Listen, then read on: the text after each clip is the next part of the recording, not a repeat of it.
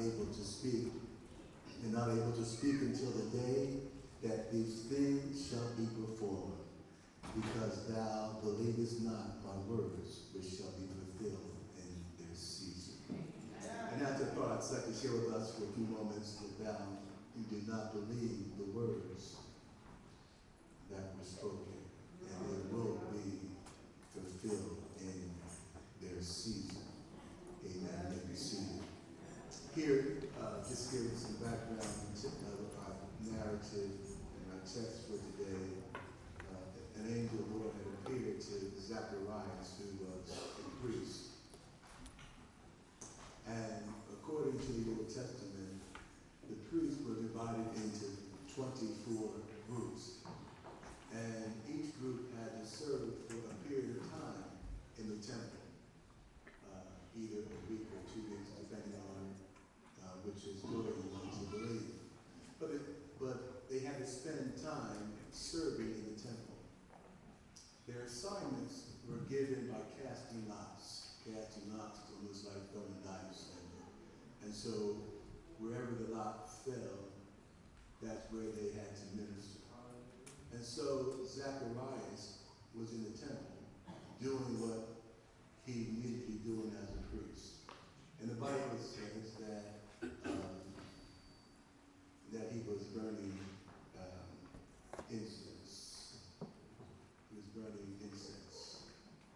And in incense, had to remove the old coals from the fire and bring in new ones off the brazen altar where the sacrifices made, brought into the temple and placed on the golden altar and as the hot coals were on the uh, golden altar, they would put incense on the altar. And the smoke from the incense would arise and ascend unto God. It symbolizes the prayers of God's people. The, uh, the men and women would be outside the temple, and when they saw the prayer, the, the incense arise, they also would begin to pray. It would be a sign for them to start praying. And so as Zechariah, Zacharias is in the temple uh, doing his priestly duties, the Bible says in verse 11, And there appeared unto him an angel of the Lord standing on the right side of the altar of incense.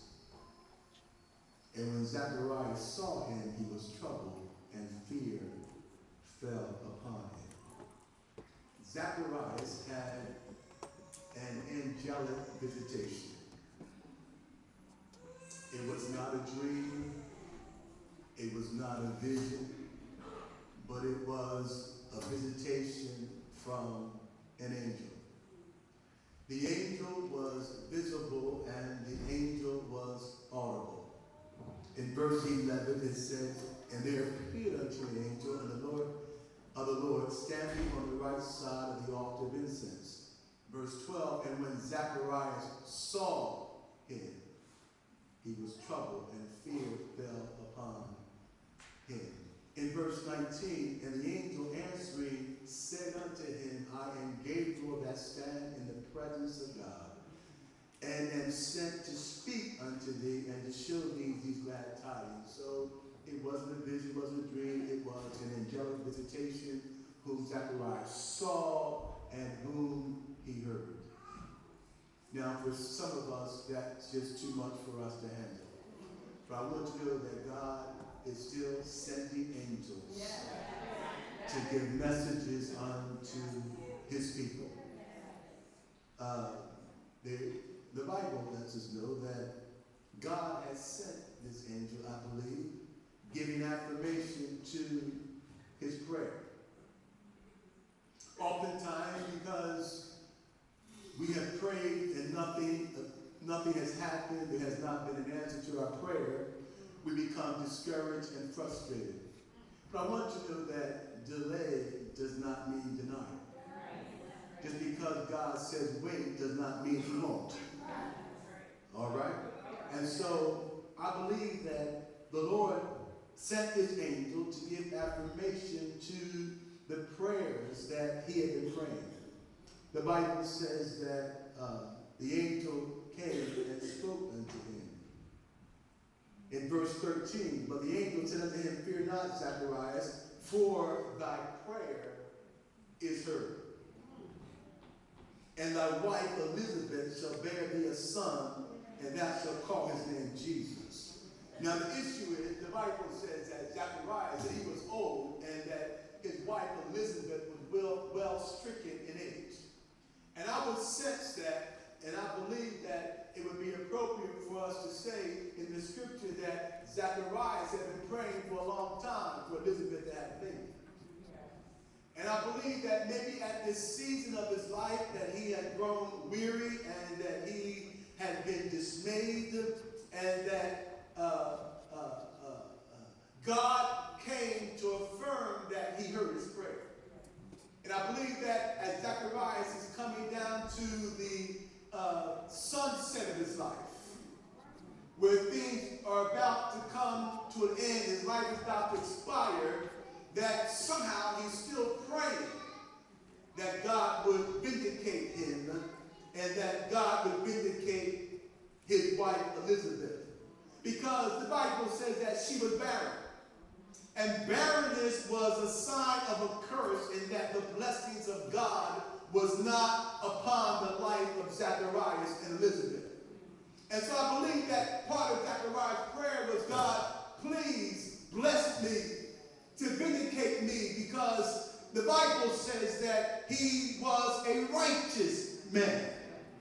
They were both righteous before God, walking in all of his all the commandments and ordinances of the Lord blameless. And so therefore, they, she wasn't stricken barrenness because of sin or an issue their lives. But the Bible lets us know that they were righteous and they walked in all the commandments of God and they were blameless. And so I want you to know that what appears to be bad things can happen to good people.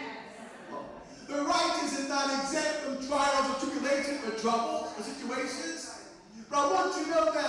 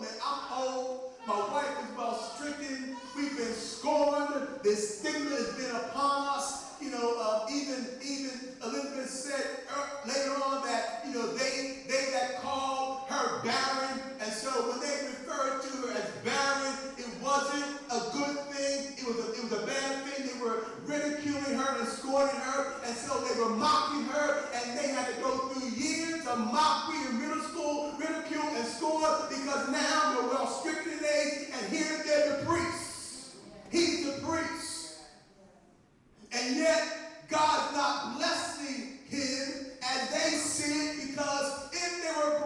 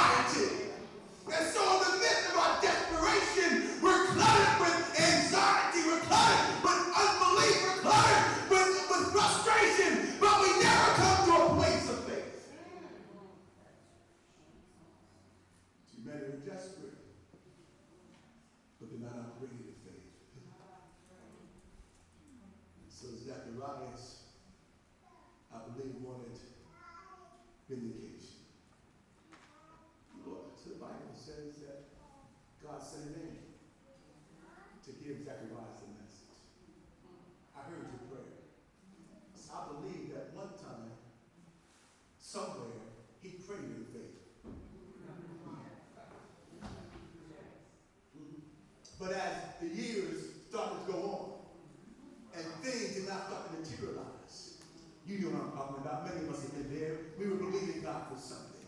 And because it didn't come in our time frame, and when we wanted to, then all of a sudden the, the faith started to wane. Come on.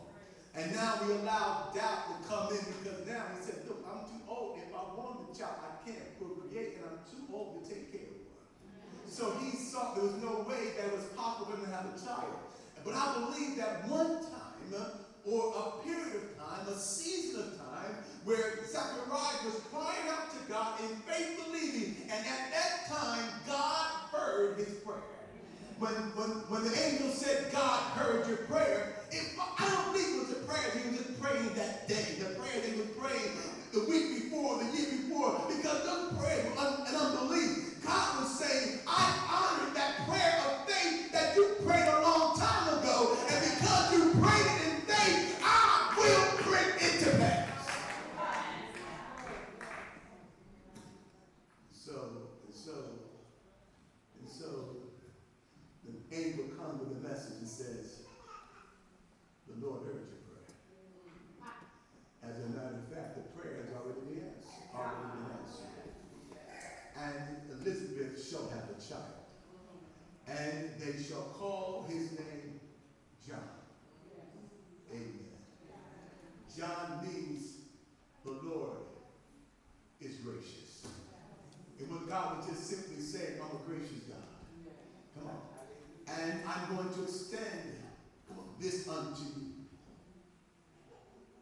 I'm so glad that God responds and works with us through him being gracious unto us.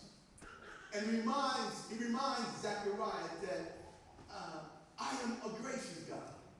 And I'm going to give you a, a son. You're going to name him John. It will be a, a reminder of who I am for the rest of your life.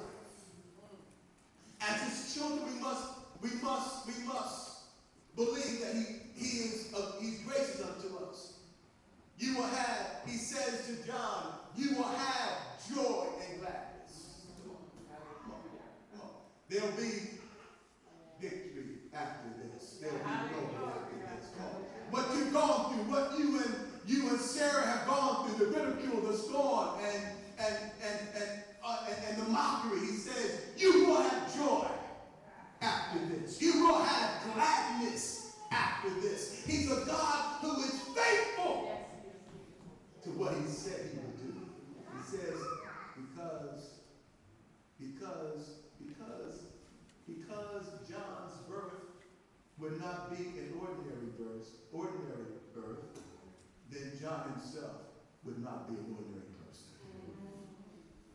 We want God to do extraordinary things. Yet we're not willing to let God to do extraordinary, extraordinary things to us. The moment we allow God to do it the way He wants to do it, is when we'll begin to experience the supernatural power of our God. And so in verse 15 to 7 through 17, it simply says, For he shall be great in the sight of the Lord, drink neither wine nor strong drink, he shall be filled with the Holy Ghost, even from his mother's womb. And many of the children of Israel shall he turn to the Lord their God, and he shall go before him in the spirit and power of Elijah, Elijah to turn the hearts of the fathers to the children and the disobedient to the wisdom of the just, to make ready a people prepared for the Lord. I want you to know that your condition is no reason. It, your, your condition, I'm sorry, your condition is for a reason and never an excuse. Oftentimes we use our conditions for our excuses for not doing what God wants to do. God, I'm too old now. I'm well stricken in age. God, I didn't go to school. I didn't go to college. God, I don't have what other folk have. God, I've been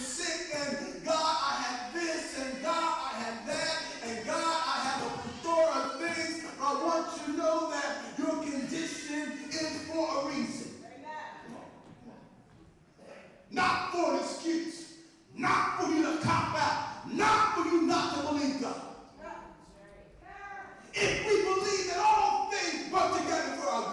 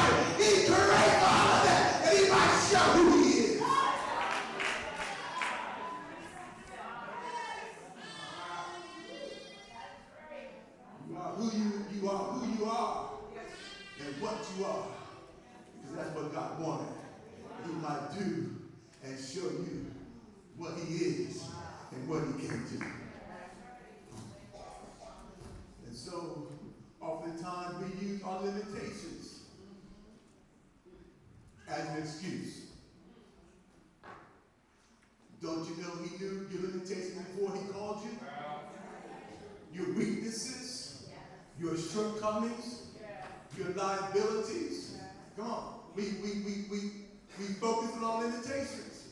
And the reality is, it's okay to focus on your limitations if you're trusting Him to work through you. Because you recognize the less you are, the more He can do.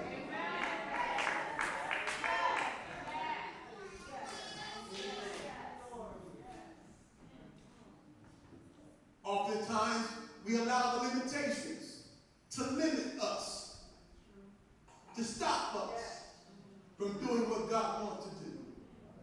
This thing in verse 18, the Bible says, And Zachariah said unto the angel, Whereby shall I know this? For I am an old man, and my wife well stricken in years.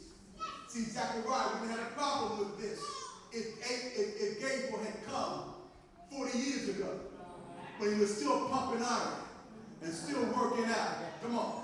Had a six pack. Hello, somebody. You know, uh, he wasn't double out, his belly was double out over his stomach, over his back. You see, uh, you see, but if he was young man, he had no problem with Gabriel talking to him this way.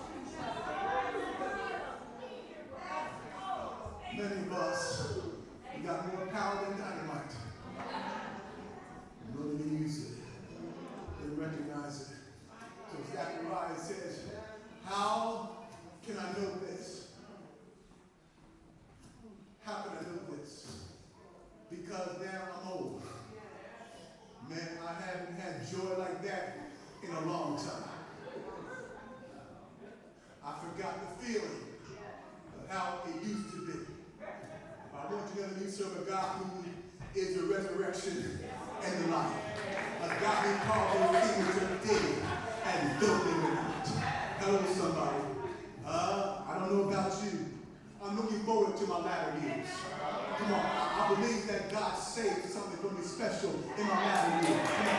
That's why I keep pressing on and keep pressing in.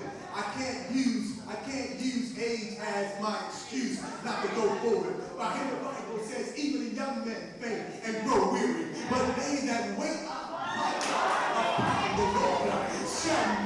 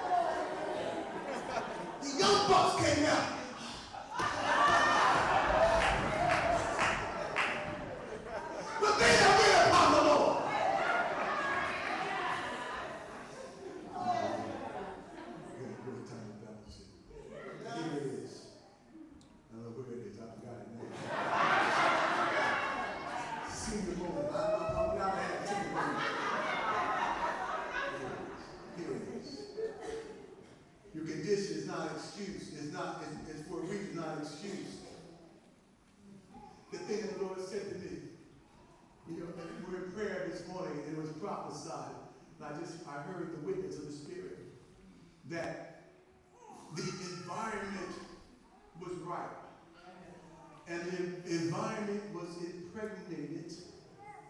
something to happen. Because, first of all, prayer was made. The Bible says that they were outside praying while Zechariah was in the temple doing his priestly duties. It was worship as Zacharias was in the temple worshiping, doing his priestly duties. There was obedience. The Bible says that Zacharias and Elizabeth walked in all the commandments of God. And so I said, Lord, there was, there was an environment that would have been right for something to happen and explode. But then the Lord said one thing was lacking. Even though they had all the form, even, that, even though they had all the right stuff and doing the right stuff, the thing they didn't have was faith. They didn't integrate faith in the worship. They didn't integrate faith in the prayer. They didn't integrate faith in the obedience. Come on, somebody. Come on. And so therefore, since they were lacking faith, God couldn't do anything. And the word that came by this morning said the Lord's going to prick the hearts of God's people. Come on, because many of us have been in the church. We've been in the worship. We've been in the prayer. We, we've done all right things, had all the forms, but yet nothing happening. And the Holy Spirit said nothing will happen until you integrate faith with it, until faith is put in it. Come on. God is not so much concerned about worship. He's not concerned about form, but what he wants is substance. And faith, and now faith is the substance. Come on. Of things whole for. The evidence of things not.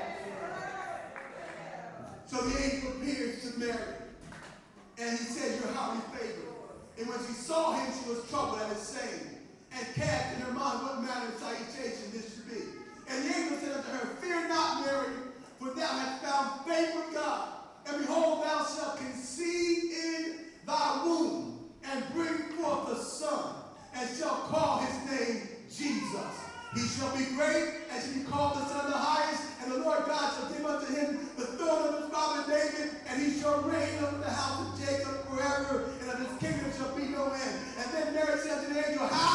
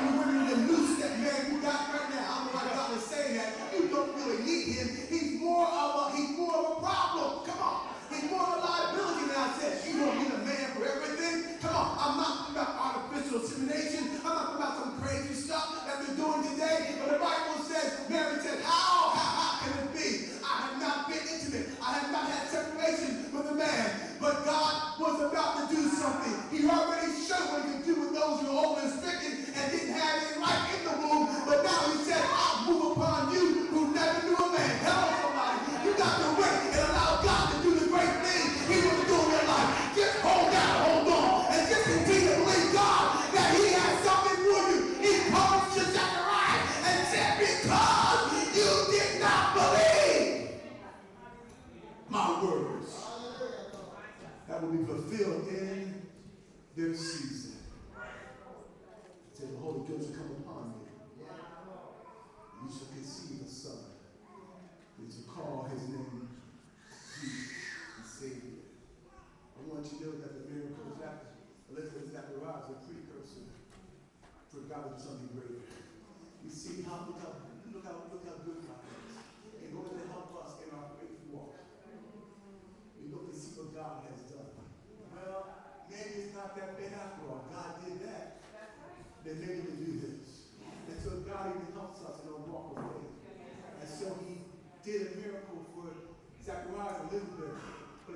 preparing people for greater. I believe today that God is preparing us for greater miracle, And many of us are stuck in what God, has, uh, what, what God has done. That's why the Bible says, look, we're not the former things. Behold, I'm doing a new thing. And so he sums up this way.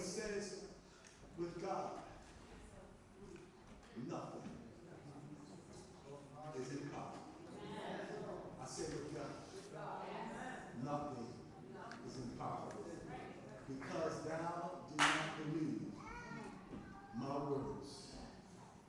With some fulfilled in this season, you shall not be done. You see, God can't allow faithless people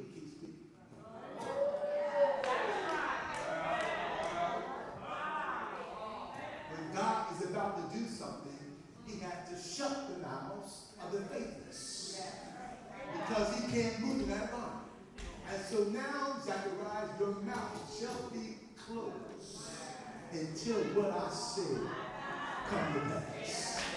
Some of you just can't in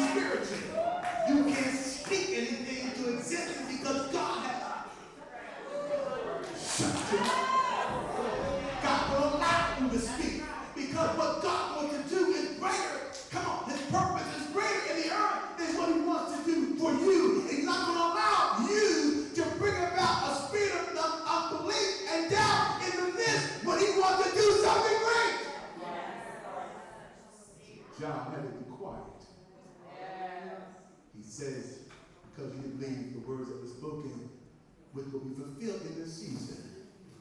And when the word was fulfilled, he opened John's mouth because all he knew John could say then was thank you, Jesus. How great is our God? Sing with me, how great is our God?